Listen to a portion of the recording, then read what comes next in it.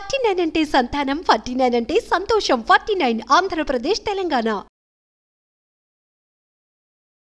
నమస్తే రమగారు. నమస్తే జయ. రమగారు మనము మృత్య కటికం సిరీస్ చేస్తూ ఉన్నాం కదా? నెక్స్ట్ ఎపిసోడ్ వసంత సేనని బండి కోసం బండి పంపించాడు చారుదత్తుడు. ఆ బండి కొంచెం పక్కకి వెళ్ళిపోయి ఆ, రాజశాలకుడైనటువంటి ఆయన పేరేదో మర్చిపోతున్నానే శకారుడు రాజుగారి బావమరిది ఆయన ఆయన బండిలోకి ఎక్కేసింది ఈవిడ. బండి దాని దారిన అది వెళ్ళిపోయింది. ఈ బండి కూడా ఇప్పుడు శకారుడు మన చారుదత్తుడు పంపించిన బండిలో ఈ శర్విలకుడు వాళ్ళ సహాయంతో పారిపోతున్నటువంటి ఆర్యకుడు. ఒక గోపబాలుడని అతన్ని రాజుగారు అరెస్ట్ చేశారని ముందు భాగంలో ముందు భాగంలో చెప్పాం. ఆ సరే అతను తప్పించుకుని ఆర్యకుడు దొరికిన బండి తన కనపడిన బండి ఎక్కేసాడు ఓకే. ఆ బండి ఎవరిది? చారుదత్తుడి బండి. రెండు బళ్ళు పోతున్నాయి. అయితే అది వాళ్ళు జీర్ణోద్యానము చాలా పెద్దది. పుష్పకరండ జీర్ణోద్యానం. అదే దాని పేరు. అది చాలా పెద్దది. వీళ్ళు వీడికి అలవాటైన గేట్లో నుంచి వీడు వెళ్ళిపోయాడు. ఒకడు చారుదత్తుడు ఉన్న దానికి చారుదత్తుడి బండికి వాళ్ళకి తెలుసు కదా తను ఎక్కడున్నాడో. ఆ పక్కకి ఆ బండి వెళ్ళిపోయింది. తీరా బండి వెళ్తే ఆయనకి ఎక్సైట్మెంట్. వసంత సేన వచ్చింది తన కోసం అని. ఆ బండిలో చూస్తే ఈ ఆర్యకుడు కనపడ్డాడు ఆశ్చర్యపోయాడు.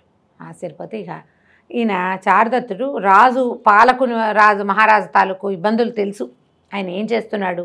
ప్రజల్ని ఎట్లా పీడిస్తున్నాడు?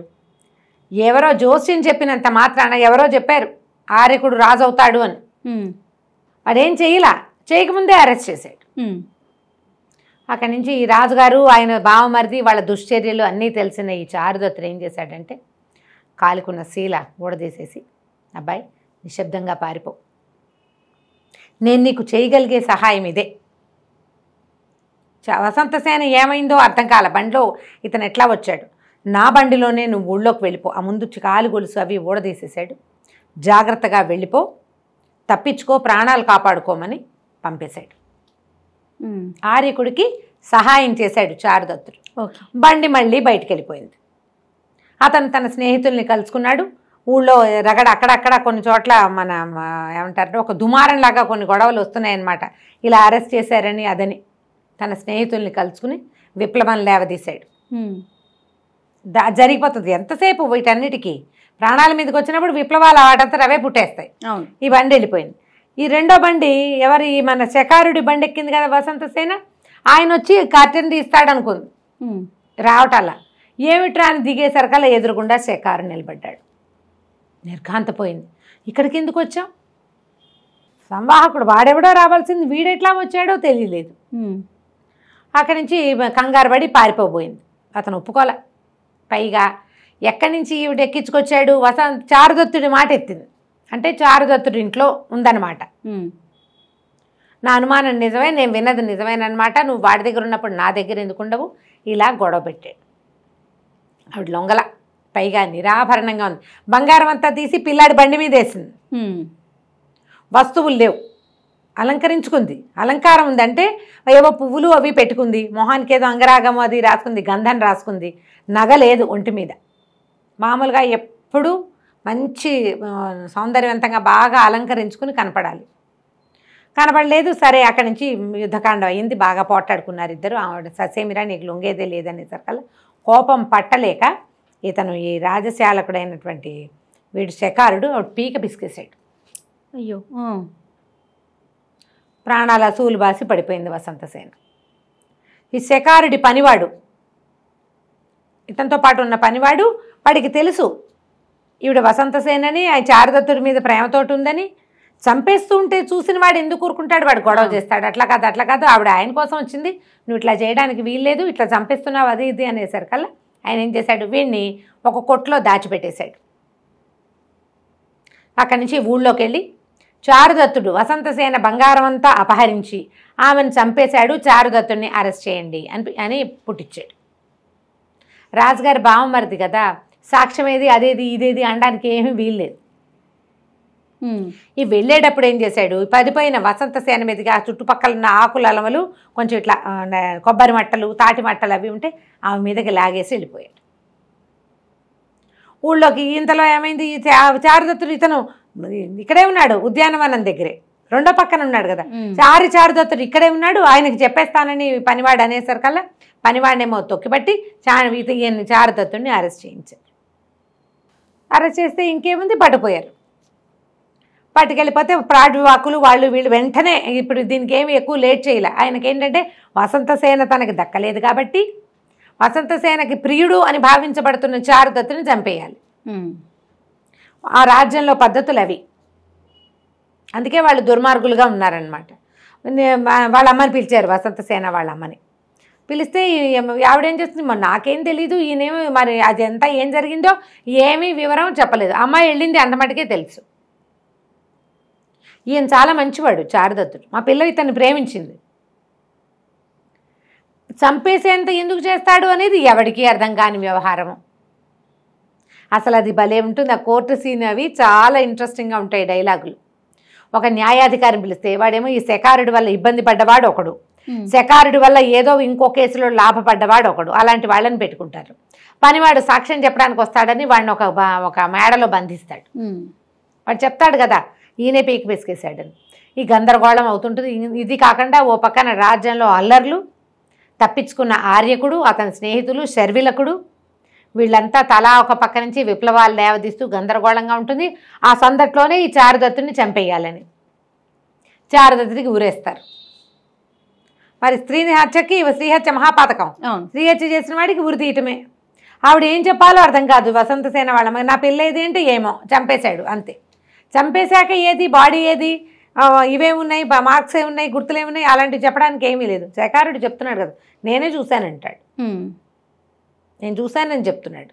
దాంతో ఈయన కాస్త ఉరిశిక్షేశారు. ఇంతలో ఈ వార్త కార్చిచ్చులాగా ఊరంతా వచ్చింది. ఆర్యచారుదత్తుడికి ఉరేశారు అని. అందరూ ఆశ్చర్యపోయారు. అదే చాలా మంచివాడు. వసంతసేన చంపడం అండి ఆయన అసలు వేశ్యాలోలపత్వమే లేదు ఆయన దగ్గర. ఎంతమందో అతని వల్ల సహాయం పొందిన వాళ్ళు భార్య కొడుకు ఆ ఇంట్లో ఉండే రథనిక ఈయన ఫ్రెండ్ మైత్రేయుడు. బండివాడు అందరూ కలిసి లబోదిబోమని ఏడుస్తూ న్యాయస్థానం దగ్గరకు వచ్చారు. ఇక ఉరి తప్పదు. ఇంతలో అక్కడ ఏమైంది? పుష్పకనండ జీర్ణోద్యానంలో. ఈవిడ చెట్ల ఆకుల కింద పడుంది కదా? ఈవిడ ఇంతకుముందు చారుదత్తుడి ఇంట్లో పనివాడు ఒకడు జూదంలో డబ్బులు కొడ్డి ఓడిపోతే అతనికి డబ్బు కట్టి నగిచ్చి విడిపించింది. అవును. ఆయన ఏం చేశాడు? బౌద్ధ శ్రమణకుడుగా మారాడు. ఆయన ఏం చేశాడు? అక్కడ ఉన్న జీర్ణకరండ ఉద్యానవనానికి జపం చేసుకోవడానికి వచ్చి తన బట్టలు ఆ పక్కనున్న మడుగులో జాడిచ్చి ఆరేసాడు జాడించుకొచ్చాడు బట్టలు ఆరేయటానికి సాధారణంగా ఏం చేసేవాళ్ళు? అప్పట్లో బట్టలు పిండేసేసి ఇట్లా నేల మీద విశాలంగా పరిస్తే చాకళ్ళు అలాగే వేసేవాళ్ళు చూడు మన ఊళ్ళలో కూడా అవును. చెరువు గట్ల మీద. ఈ చీవరాన్ని ఇలా పరిచాడు. ఆ తడి చీవరపు నీళ్ళు పడి ఇప్పుడు స్పృహ తప్పి ఉన్న వసంతసేన లేచి కూర్చుంది ఓహో. నిర్ఘాంతపడి అదేమిటమ్మా నువ్వు ఇక్కడికి ఎందుకు వచ్చావు? ఇక్కడ ఇక్కడ ఉన్నావేమిటి అని అనేసరికల్లా ఆ చెప్పింది ఆ సిగ్గుపడింది ఆయన శ్రమణకుడు చారదత్తుడి కోసం అని చెప్పకుండా ఆ శాఖ బండి మీద వచ్చాను. ఇలా వచ్చా ఏదో బండి అనుకుని పొరపాటున ఎక్కాను. శకారుడు ఇట్లా చేశాడు. అనేసరికల్లా పదమ్మ మనం వెళ్దాం. అది చాలా దూరం. సరే ఆయన ఏం చేశాడు? ఆరేసిన చీవరాన్ని కట్టుకుని ఈవిని వెంబడి పెట్టుకుని కాస్త ముందు సేద్దిచ్చి కాసిన మంచినీళ్ళు ఇచ్చి తీసుకుపోయాడు ఇంటికి. ఇప్పుడు ఇంటికి వెళ్ళేసరికల్లా అక్కడ ఇది కనపడుతుంది గొడవ. చారుదత్తుడికి ఊరేశారంటే ఇప్పుడు బతికే ఉంది కదా. అక్కడి నుంచి భార్య వాళ్ళు అక్కడికి వచ్చారు ఈవిడ కూడా పరిగెత్తుకుంటూ వధ్యస్థానానికి వెళ్ళింది. ఈ వధ్యస్థానానికి వెళ్ళే దారిలో చారుదత్తుడిని ఊరేగింపుగా తీసుకొస్తుంటే జనమంతా ఆశ్చర్యపోతా ఇతను ఇట్లాంటి వాడా? ఎప్పుడు వినలేదే వీళ్ళ నాన్న చాలా గొప్పవాడు ఇతను చాలా మంచివాడు అని చెప్పుకుంటున్నారు.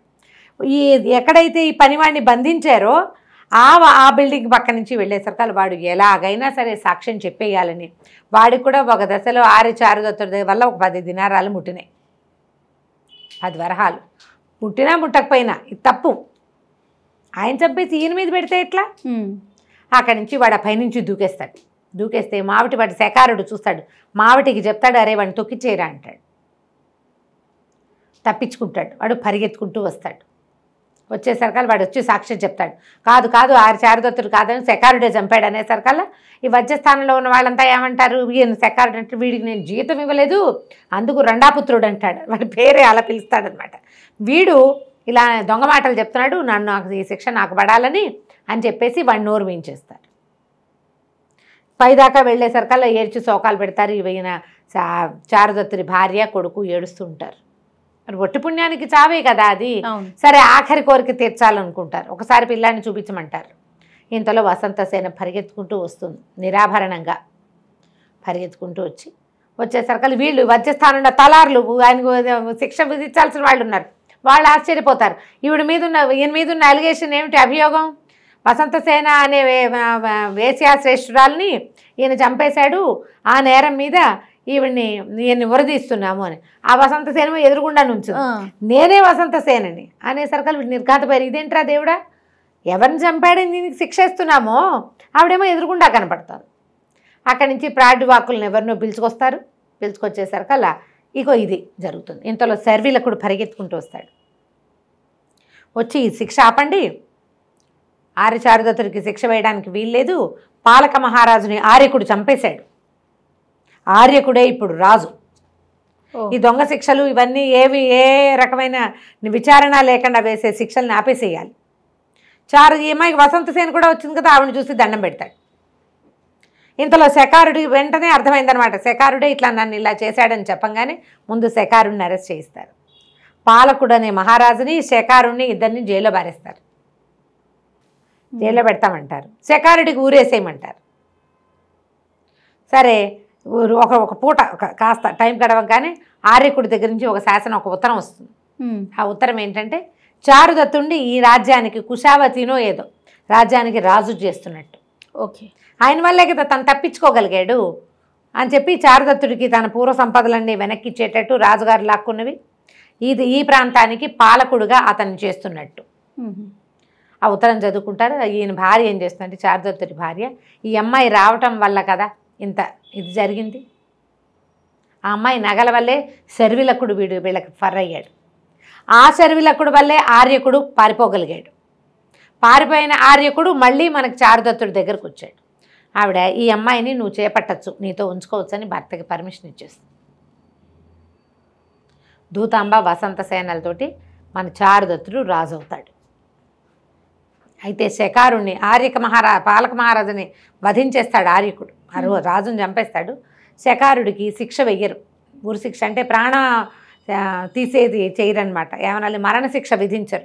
ఉమ్, కేవలం జైలు మాత్రమే వేస్తారు. ఏదో తాగుబోతానంతో చేశాడు తప్ప తెలివి తక్కువవాడు తాగుబోతువాడు తొందరపాటువాడు. అంతేగాని ఇంకా ఎవరిని చంపడానికి దానికి అతను ఏం చేయలేదు కాబట్టి ఆ శిక్ష మరణ శిక్షను రద్దు చేసి జైల్లో పెడతారు. ఓకే. ఆ తర్వాత ఈ ప్రాంతానికి పాలకుడుగా చారుదత్తుడిని చేస్తారనమాట. ఆయన రాజు అయిపోతాడు పూర్వ సంపదలన్నీ వస్తాయి.